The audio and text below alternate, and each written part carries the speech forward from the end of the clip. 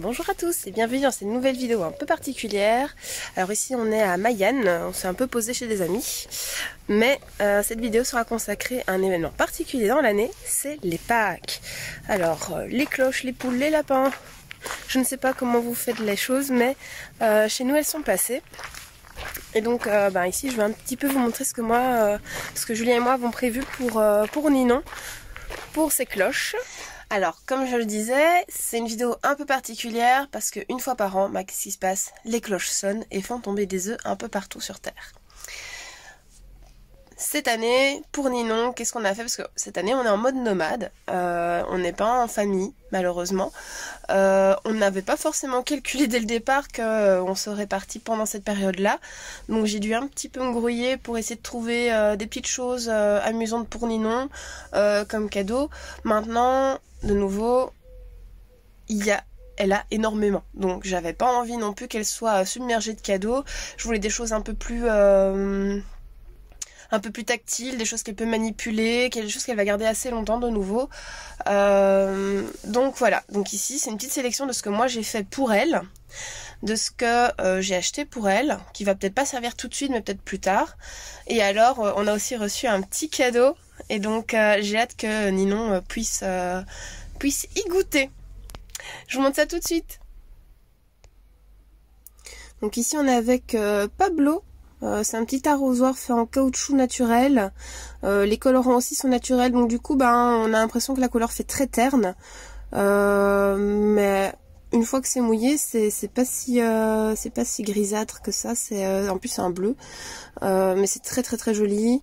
Hop, il y a le nez qui coule du coup quand on va mettre de l'eau dedans. Euh, et, donc la marque ici récemment ils ont euh, créé vraiment toute une panoplie de jouets de bain euh, éco-responsables donc toujours caoutchouc naturel, colorant naturel et dernièrement, ils ont euh, ils ont un peu retravaillé les aspergeurs de bain. Vous voyez ces petits canards là qui sont très sympas au début et puis qui deviennent très dégueulasses parce qu'il y a plein de moisissures dedans. Et eh ben eux, ils ont trouvé euh, la solution. En fait, ce sont des aspergeurs réutilisables. Donc c'est-à-dire que vous savez les euh, déboîter, donc les ouvrir en deux, nettoyer l'intérieur, puis les refermer. Et c'est toujours en caoutchouc naturel avec des colorants naturels. Ben on a la petite boîte à meux. Je vais vous épargner le bruit. J'ai acheté euh, le petit lapin sautard. Ça, ça pourrait bien l'amuser aussi. Euh, j'ai acheté quelque chose un peu plus euh, pour un peu plus tard. C'est ben, un genre tangram en fait. Hein. donc l'enfant manipule les pièces. Il y a des casse-têtes dedans. Clairement, elle va pas les faire tout de suite. Alors, j'ai aussi acheté. ben, c'est la Pâque. Hein, donc on va. J'ai acheté des petits œufs. Alors, hop. Voilà. Celui-là ici est aimanté. Celui-ci c'est scratché donc en trois parties. Une, deux et trois parties. Lui il est dans la longueur. Alors ça c'est rare, j'ai jamais vu ça avant. Donc ça c'est vraiment cool. Hop. Et celui-là tout simplement en deux parties. Alors ce qui est chouette aussi c'est que j'ai déjà un petit couteau en bois donc Nino va pouvoir s'amuser à couper euh, ses petits œufs. Donc voilà, il y a les petits œufs. Euh, alors ce que j'ai aussi euh, fait moi-même en tant que maman, c'est que j'ai fait des bouteilles sensorielles. Alors il y en a une qui est plus axée sur tout ce qui est l'univers marin, parce que comme vous le savez, euh, son coin lit, c'est vraiment des, baleines, des, des, méduses et tout ça. J'ai fait une sirène sur sa fresque. Donc du coup, j'ai voulu rester dans l'univers marin et je lui ai fait une bouteille sensorielle, vraiment avec des coquillages, des petites perles, des perles d'eau pour donner une sorte de petit relief dans, l'eau. Euh, et on va vraiment jouer sur euh, l'observation. elle va, voilà, ça, ça, permet aussi des fois des retours au calme avec l'enfant qui reste concentré sur un objectif. Il y en a beaucoup qui font des bouteilles sensorielles en cherche et trouve. Donc en gros, vous mettez une bouteille avec que des graineries, vous mettez plein d'objets dedans et vous demandez à l'enfant de retrouver un des objets dans cette bouteille. Euh, qui est mélangé avec le riz. C'est assez sympa, ça fonctionne très très bien. Moi j'ai vraiment opté sur l'univers marin et puis j'ai opté sur l'univers euh, plutôt fermier. Donc euh, avec les petits œufs, avec les petits poussins parce qu'on est vraiment dans l'univers de Pâques. Donc je vais vous montrer ça tout de suite. Alors ici on va euh, faire la bouteille sèche, euh, la bouteille sensorielle sèche. Donc euh, ici j'ai acheté une bouteille chez nos amis suédois. La paroi est lisse donc c'est assez pratique. Il y avait ceci aussi au niveau du goulot. Je crois que c'était pratique pour si elle veut le transporter. Donc en fait une bouteille sensorielle sèche c'est pas bien compliqué à faire tout comme les liquides au final. Hein. on va simplement s'amuser à remplir avec des choses. Alors ici ce que moi j'ai fait c'est que j'ai acheté euh, des graines pour oiseaux et je me suis amusée à séparer donc euh, les petits grains de maïs et tout ce qui était petits pois secs euh, de toutes les graines qu'il y avait. J'ai également acheté ben, une bobine de raffia que je me suis amusée également à découper en petits morceaux pour donner un effet herbe. On a trouvé euh, des petits œufs en bois ainsi que des petits poussins. Voilà, différentes couleurs, il y en a deux d'ailleurs, c'est brun ou jaune. Qu'on va donc mettre dans cette bouteille. Voilà. Donc, euh, réalisation en direct, hein. c'est une première pour moi, donc euh, soyez indulgents. Je risque d'en mettre partout.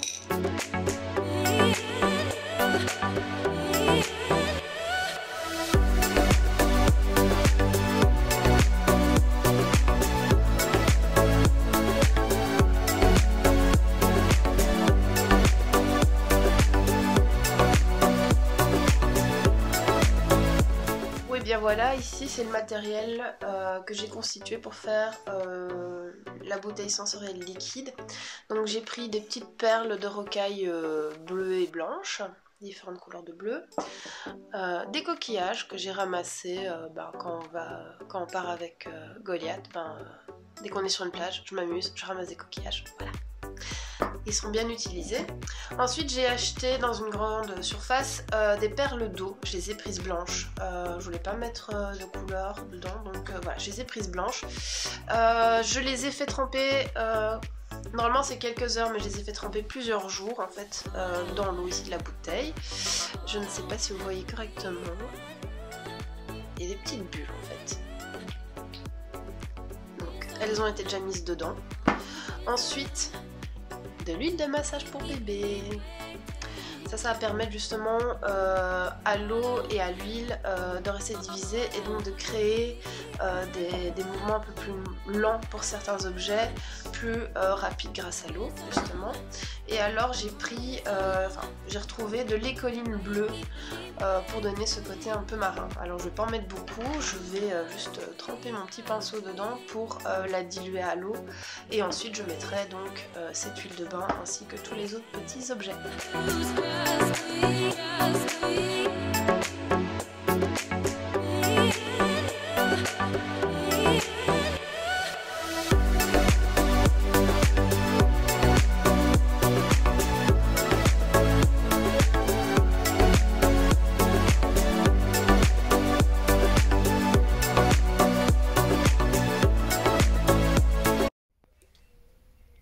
Voilà, donc ici j'ai fait donc euh, deux bouteilles sensorielles. Donc la première c'est euh, l'univers marin. Ensuite ben, j'ai fait le côté euh, fermier avec nos petits poussins, des petits œufs. Ici c'est du raffia que j'ai coupé en petits morceaux, des petits pois et le maïs. Je ne l'ai pas mélangé pour que Ninon puisse découvrir et mélanger elle-même sa petite bouteille. Donc là, ce sont les deux bouteilles sensorielles que j'ai fait moi-même parce que je voulais pas justement devoir toujours tout acheter. Je voulais qu'elle ait des choses qui soient faites maison et, euh, j'ai vraiment hâte qu'elle découvre euh, le travail de maman. Donc là, ici sont les petits œufs que je me suis amusée à peindre à la main. Et il y a monsieur et madame Lapin qui sont là. Monsieur et madame Lapin de Pâques. Donc vous voyez, c'est pas, euh, pas très grand quoi. Hein. Donc ça demande du, taf, du temps, du boulot. Je faisais ça le soir quand Ninon faisait dodo, tranquillement dans le fauteuil. Oula Ça y est, joué à la pétanque aussi.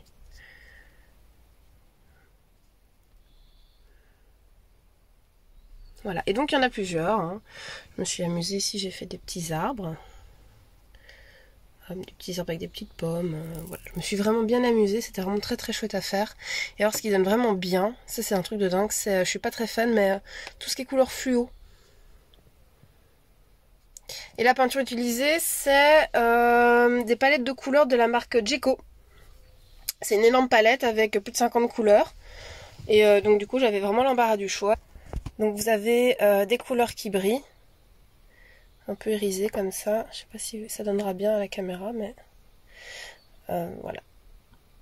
Il y a du fluo et il y a les couleurs classiques. Alors, comme je disais, Nina va faire une chasse aux œufs. Donc forcément, qui dit œufs dit œufs en chocolat. Donc papa, papa a été chercher les œufs. Donc on va en mettre certains plic-ploc comme ça. On va essayer de trouver un spot euh, très nature où elle pourra gambader. Euh, on va éviter les parkings et tout ça pour qu'elle puisse vraiment gambader et euh, faire sa petite chasse aux œufs. Alors, il y a les œufs. Mais alors, elle a reçu un petit cadeau de la part d'Idriss. Et c'est ceci. Voilà. Alors, je vous dis pas, ma fille qui à chaque fois le voit veut le bouffer. Bah là, elle va pouvoir. Et la petite clochette. Vous reconnaissez la marque, hein? Il y a la petite clochette, ils font ça aussi avec un petit lapin. C'est super mignon, donc je l'ai bien mis de côté pour pas qu'il s'abîme, pour pas qu'il fonde. Et euh, voilà, donc Ninon va pouvoir déguster euh, son petit poussin de Pâques. Merci beaucoup Idriss. Euh, il y a aussi un truc qui est super sympa, c'est que du coup, les œufs ça reste quand même petit, donc je suis pas sûre qu'elle va vraiment les trouver. Donc chez Emma, j'ai trouvé ceci. Alors, il y en a 8 au total, hein. j'en ai que 4 ici, mais il y en a 8 au total, et en fait, c'est comme les Kinder, ça s'ouvre. Donc, euh, imaginons, euh, j'ai mes œufs de Pâques, hop, je les mets dedans, voilà. Donc, on sait en mettre 2, 3 dedans, 3 je pense maximum. Voilà, elle aura des petits œufs en chocolat dans euh, les gros œufs qu'on pourra disperser un peu partout. C'est assez sympa, c'est très très chouette. j'ai trouvé alors, qui dit livre dit forcément certains thèmes comme la Pâque, forcément. Et euh, j'y trouvais par hasard, je ne sais même plus où. Euh, c'est chez Père Castor, c'est le premier œuf de Pâques. Hop, qui est ici? Euh, c'est l'histoire en fait d'une petite poulette euh, qui va en fait pondre son premier œuf de l'année et elle est tellement contente qu'elle va euh, partir avec au concours des, du plus bel œuf de, de, Pâques, enfin le plus bel œuf tout court en fait.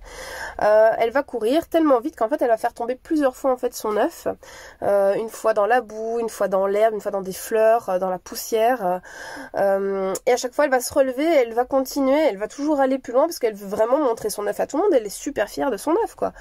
Sauf que sur son chemin entre les dégringolades de l'œuf et euh, sa course vers euh, le lieu du concours, elle rencontre des gens qui vont à chaque fois lui dire non tu devrais pas y aller, ton œuf il est pas assez beau, non tu devrais pas y aller, ton œuf il est trop petit, euh, non ton œuf n'a pas assez de prestige, abandonne, ça sert à rien, tu vas te ridiculiser. Mais non, on a la petite poulette qui elle en fait elle a super envie de montrer son œuf parce qu'elle est tellement fière de son œuf qu'au final elle veut montrer à tout le monde, peu importe de gagner ou pas, elle veut simplement le montrer. J'aime énormément ce genre de petit livre parce qu'en même temps ça parle de la persévérance, euh, de la fierté d'avoir créé et fait quelque chose par soi-même et donc de vouloir aussi le montrer à tout le monde, ce qui est totalement euh, normal au final hein, quand on fait quelque chose de bien, on a envie de le montrer à tout le monde. Et euh, je trouve ça super mignon parce que regardez, voilà elle est tellement fière de son œuf notre petite poulette donc du coup, ben voilà, elle a vraiment envie de le montrer. Elle le fait tomber, mais ce n'est pas grave. Elle a, elle a encore envie, euh, voyez, hop là. Vraiment tout, toute fière de son œuf, malgré euh, les feuilles qui collent dessus, malgré la boue et la poussière. Elle s'en fout, elle le récupère à chaque fois. Notre petite poulette. Pour pouvoir donc aller à ce magnifique concours du plus bel œuf. Et c'est la reine des poules qui va désigner le grand vainqueur. J'en dis pas plus parce que honnêtement il faut vraiment le lire. Euh, moi je l'ai vraiment trouvé très sympa. Maintenant le texte est un peu long donc c'est pas sûr que Ninon accroche du début à la fin.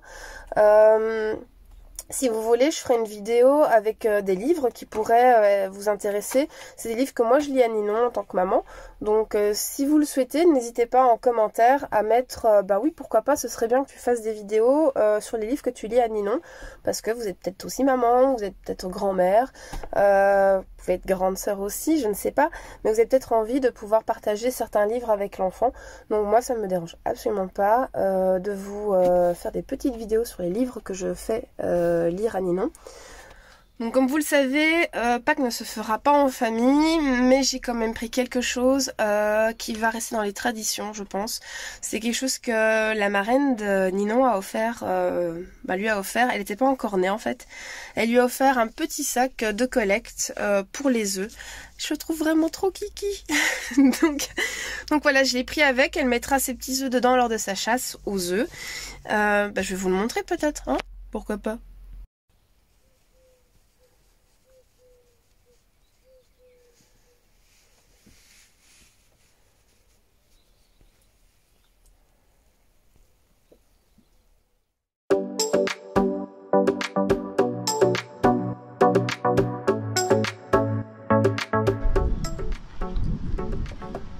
aux œufs commence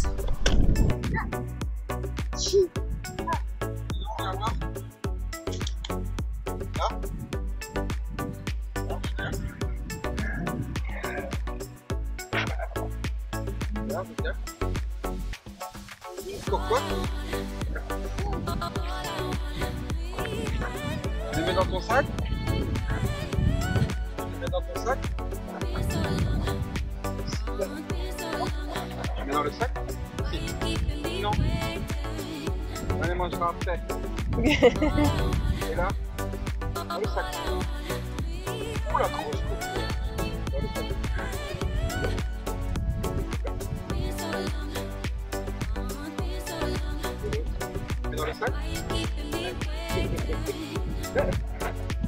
Là, regarde. Oh là là. Oh là là. Des dans le sac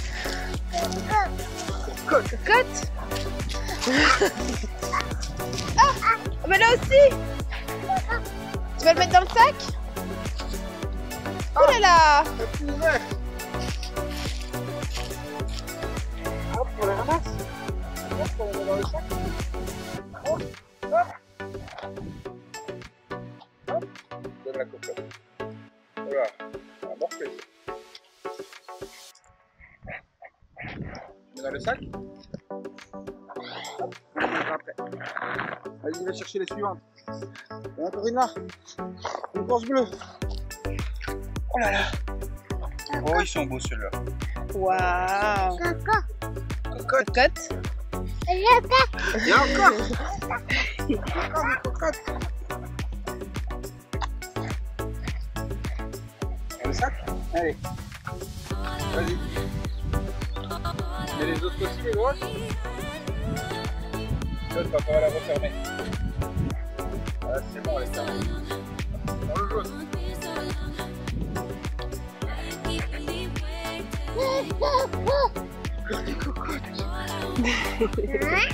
Si. Hop là. Et là, le gros. Oh là là. Oh là là Ouh Oh là là Vite faut les mettre dans le sac. Oh là là, c'est une fille qui a été bien gâtée par les cloches, ça Il y en a un dessous de toi, c'est toi qui l'as pondu celui-là. Et là-bas, sur un, je pense.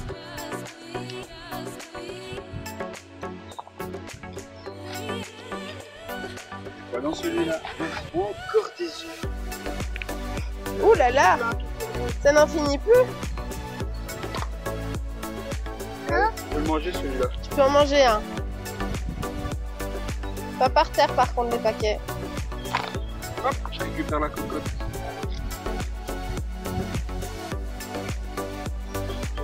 S'il te plaît, ma chérie. Rien n'a plus. Je pense qu'elles ont tout pondu.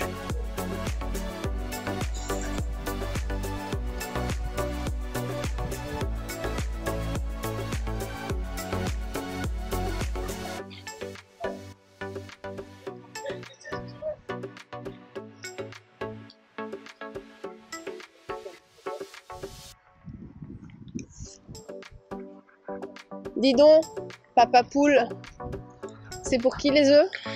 C'est pour une non Ouais, c'est A. Non. Si. Ah. Comment tu t'es fait avoir Bon et bien voilà, la chasse aux œufs se termine, la découverte des petits cadeaux euh, s'est super bien passée. J'espère que vous avez aimé cette vidéo un peu bonus, Euh, une petite parenthèse pendant notre voyage. On vous retrouve bientôt pour de nouvelles aventures et encore un tout grand merci à vous de nous suivre. Vous êtes maintenant plus de 1300 personnes sur notre chaîne, ça nous fait mais chaud au cœur. Euh, ça prouve que euh, bah, ce que l'on fait est bien, ce que l'on fait est chouette et que ça vous plaît. Donc, euh, au revoir les amis pour de nouvelles aventures.